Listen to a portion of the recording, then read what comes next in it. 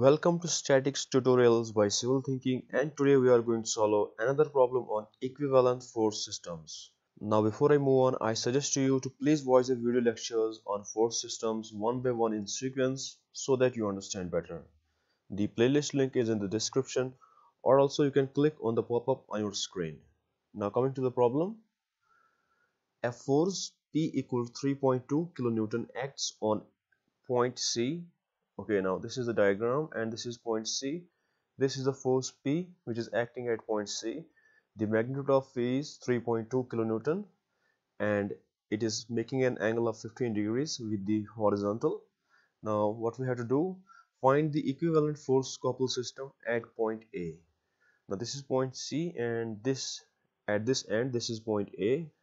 We have to find the equivalent force couple system at point A.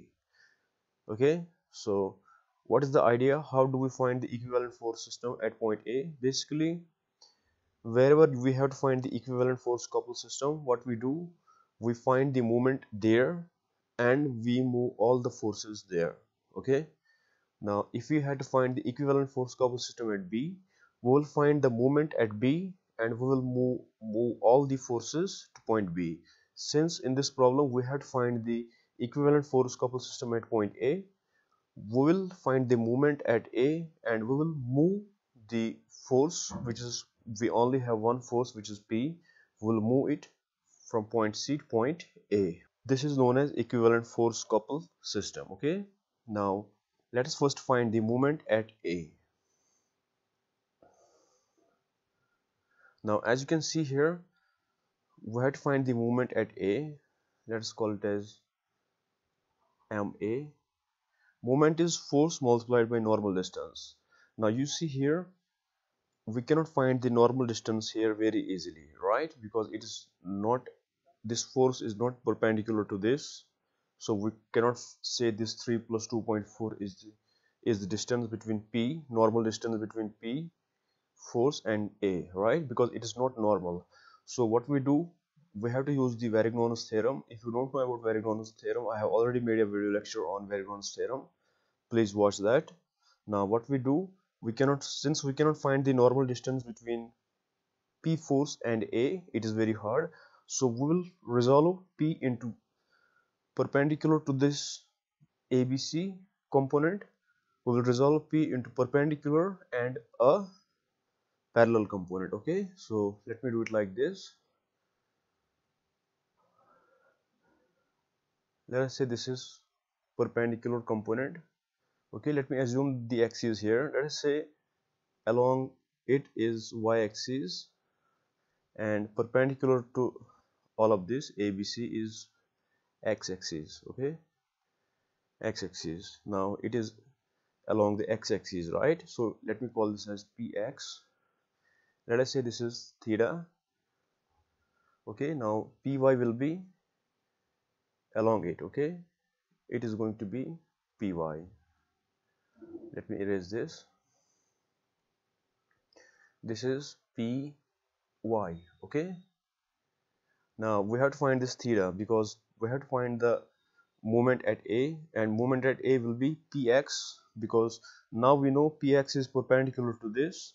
So 3 plus 2.4 will be the normal distance between a and px okay? So now we will be able to find the moment at a okay?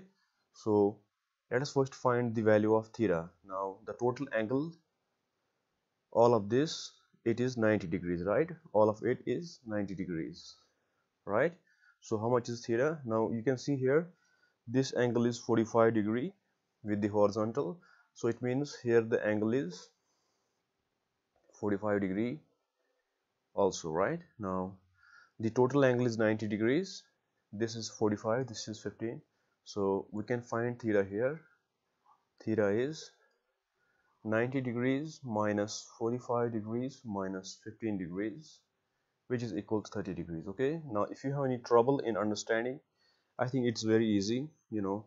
If you have any trouble in understanding you can comment and I will definitely help you. Now we know that theta is 45 degrees. Now we can find the value of px as p cosine of theta right? Now P is what? 3.2 kilonewton. 3.2 kilonewton multiplied by cosine of theta. Theta is 30 degrees. Now let me use a calculator. 3.2 multiplied by cosine of 30 degrees. It is 2.77 2.77 kilonewton okay so we found this px now let's find the moment at a. Moment at point a.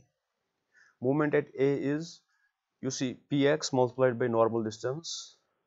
Now px is going to exert clockwise movement and i'm assuming the clockwise movements are positive and anti-clockwise movements are negative. So it is px multiplied by the distance 3 plus 2.4 right 2.4 okay now this is the moment due to px now moment due to py is what?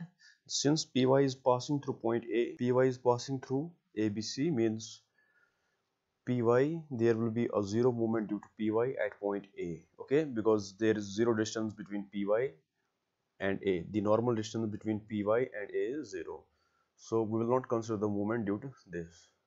Now let us put the values here px is 2.77 multiplied by now 3 plus 2.4 is 5.4 so it is 5.4 so let me use a calculator 2.77 multiplied by 5.4 it is 14.958 okay which is approximately equal to 15 kilonewton meter okay. Now how it is kilonewton meter? Now you see 2.77 is in kilonewton right? This is kilonewton. Now 5.4 is 3 plus 3 meter plus 2.4 meter so it is meter. So overall the unit is kilonewton meter. That's why 15 kilonewton meter. Okay? Now we found the moment at this point okay? So let me erase all of this first. Now we have to find equivalent force system at point a so we will move this force as it is okay when we move we will not change the orientation the direction of the p force when we move it to point a so it is like this. This is force p right? It is making an angle of what? 15 degrees with the horizontal right? And the moment here is how much? Movement is clockwise here like this. It is 15 kilonewton meter okay? So this is how we solve this problem. So what is the correct option? Now it is 3.2 kilonewton towards right at an angle of 15 degree. Yes this force is towards right. It is at angle of 15 degrees with the horizontal. And 15 kilonewton meter clockwise. Yes this is 15 kilonewton meter clockwise okay? So the option a is correct. I don't have to read other options. Okay this is the correct option. So this is how we solve the equivalent force couple system problems.